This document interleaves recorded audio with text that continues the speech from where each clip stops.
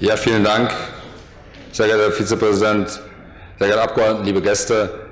Ähm, Herr Sturm, Sie haben gar nichts gesagt zur Änderung ähm, der rundfunksrechtlicher Staatsverträge, worauf sich dieser Antrag bezieht. Es ist ja klar, das ist ja absehbar und offenkundig, dass es hier um ständig zu allen Themen, wir können auch über das Wetter reden, um AfD-Bashing geht. Sie haben eigentlich nur zur AfD erzählt, gar nicht zum Thema selber. Ähm, spannend. Ich würde mich auch wahnsinnig gerne intellektuell mit Ihnen duellieren, aber Sie sind leider unbewaffnet, deshalb verzichte ich darauf ähm, und rede mal zur Abwechslung zum Thema.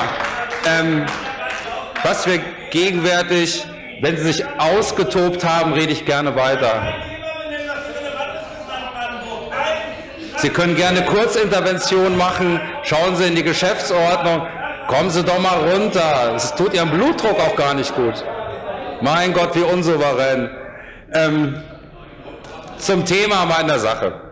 Wir erleben gegenwärtig weltweit gravierende Veränderungen auf dem Gebiet der Medien.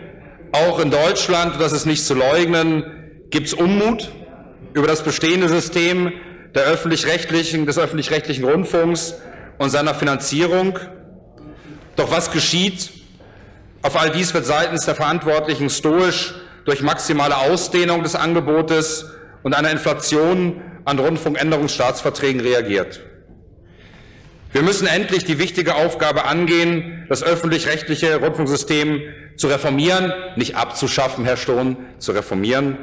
Ohne Denkverbote muss analysiert werden können, welche Aufgabe es nach Artikel 5 Absatz 1 Grundgesetz, zu der wir vollumfänglich stehen, sich in dieser ständig wandelnden Medienlandschaft noch erfüllen lässt.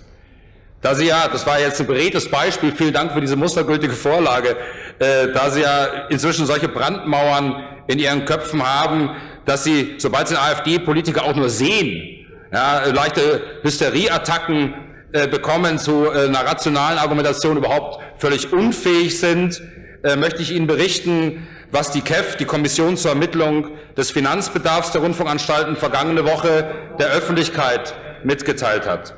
Die KEF überprüft den Finanzbedarf des öffentlich-rechtlichen Rundfunks in Deutschland und empfiehlt den Landesparlamenten die Festsetzung des Rundfunkbeitrages. Jedes der 16 Mitglieder wird vom jeweiligen Ministerpräsidenten seines Bundeslandes ernannt. Sie können also völlig beruhigt und aufmerksam zuhören. Es ist kein AfD-Mitglied dabei. Für die Jahre 2021 bis 2024 hatten die Intendanten einen Mehrbedarf von rund drei Milliarden Euro angemeldet. Diesen Wunschbetrag kürzte die KF um die Hälfte. Trotz allem wird es zu einer Erhöhung der Rundfunkgebühren auf 18,36 Euro führen. Ähm, die KEF sagt, die Sender sind ausreichend finanziert. Zitat. Äh, Zitat weiterhin, es gibt keinen vernünftigen Grund für die hohen Gehälter. Das Gehaltsgefüge ist im Vergleich zum öffentlichen Sektor deutlich, Zitat, erhöht im Vergleich mit der privaten Medienwirtschaft leicht über den Durchschnitt. Die bisherigen Einsparungen kritisiert. Die KEF als dürftig. Und deshalb bitte ich Sie, schon vor fünf Jahren wurde vom Medienrat der Sächsischen Landesanstalt für privaten Rundfunk und neue Medien gefragt, ähm, wie würden wir heute eine Vielfalt und Qualität sichernde Medienordnung schaffen wenn wir das Wort Rundfunkstaatsvertrag noch nie gehört hätten. Dieser Frage sollten wir uns mal ergebnisoffen aussetzen, ohne den öffentlich-rechtlichen Rundfunk abschaffen zu wollen. Deshalb sind wir gegen diesen Antrag, weil wir eine dringende Reform des bestehenden Systems anmahnen. Vielen Dank. Oder eine Kurzintervention angemeldet. Der Abgeordnete Kalbitz von der AfD-Fraktion, bitte.